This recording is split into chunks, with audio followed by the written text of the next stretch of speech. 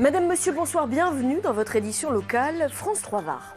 Un drame évité à la Seigne-sur-Mer. C'est un escalator et une passerelle d'un centre commercial qui se sont littéralement effondrés en fin de matinée.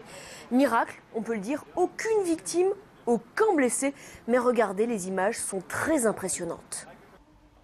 En quelques secondes, devant notre caméra, la passerelle et l'escalator de la galerie s'écroulent littéralement. À l'intérieur, seul le personnel de sécurité et les pompiers sont présents. C'est le deuxième effondrement. Le premier a eu lieu deux heures plus tôt. Les clients sont alors bien présents.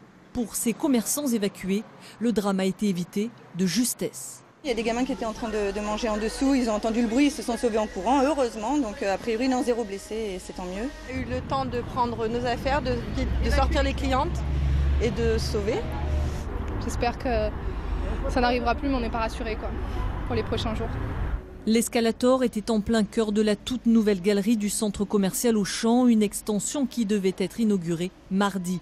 Plus de 10 000 mètres carrés de boutiques, coût des travaux, 30 millions d'euros. De quoi s'interroger. C'est possible, c'est un escalator qui s'écroule.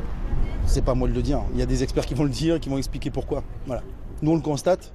Et surtout, je vous dis, ce qu'on a constaté, c'est qu'il n'y ait aucun blessé. Et il faudra trouver des explications à l'inconcevable l'effondrement d'une passerelle et d'un escalator dans un bâtiment neuf, contrôlé, ouvert au public depuis le mois de juin.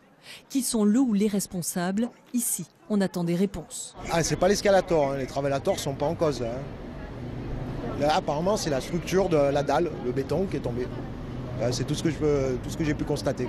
On a été inondé, euh, c'est quand déjà semaine dernière quand il y a eu les gros orages. Et là, depuis le début de semaine, les escalators ne fonctionnaient pas du tout. C'est quand même pas normal. Y a-t-il eu des malfaçons? Cela a-t-il été construit trop vite? L'enquête le dira.